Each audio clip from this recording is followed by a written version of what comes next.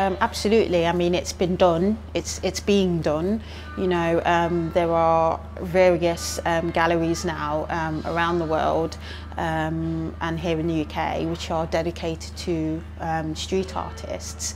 Um, so street artists are able to translate their work onto canvas, onto print, and they're able to have that exhibited and bought as well. So it can, yeah, it, uh, street art can be exhibited in galleries. I mean, even some of the top public galleries around the world um, are starting, you know, have held um, exhibitions dedicated to graffiti and street art as well. Uh, my name is Sazizo Piri and I run the Anti Gallery, which is a pop-up gallery um, specialising in urban art and urban illustration. Um, I also work as an invigilator in a public gallery. I run the Anti Gallery, which is a pop-up gallery um, specialising in street art and urban art. So what we do is we aim to promote um, different types of urban artists, street artists as well, and getting them to exhibit their work, do live painting with us as well. I'm also experimenting with painting on different surfaces, untraditional surfaces.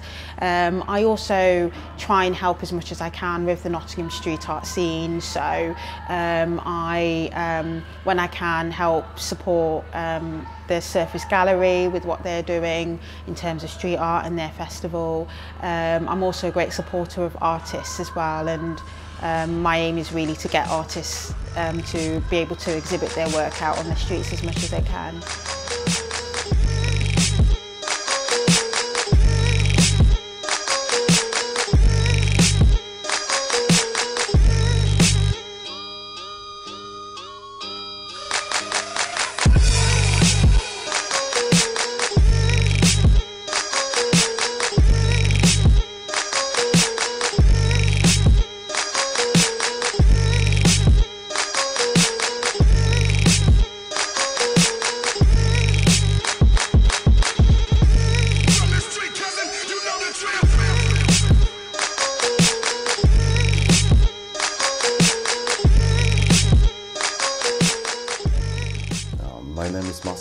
M-A-S-E-U. I'm a stencil artist from Poland, but I live in Nottingham for about three years now.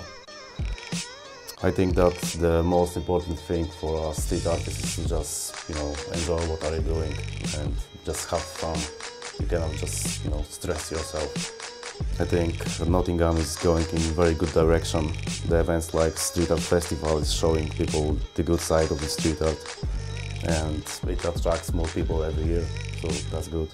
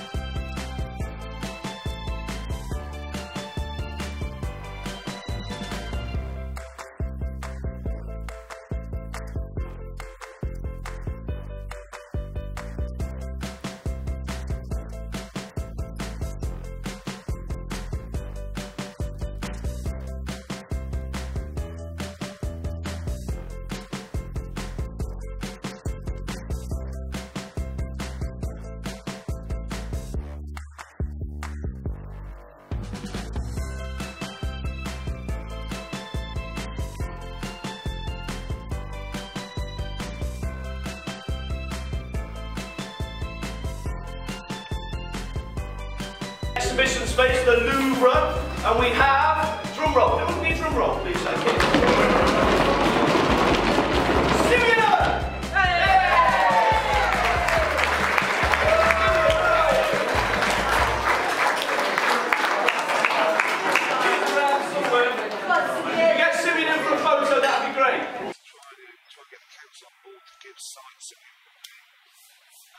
If you get Simeon in for a photo, that'd be great. try to try to get the council on board to give sites. Get the trying to manage it a bit more rather than just saying it's illegal and some kind of information council should open up and let people pay this. But they're going to get rid of the. They're going to stop people paying on the streets, so they should really get places to pay. Fantastic. And do you think Nottingham has that potential? Do you think that we can make the city I think, I think, I think every city has the potential to do it. It's just a matter of making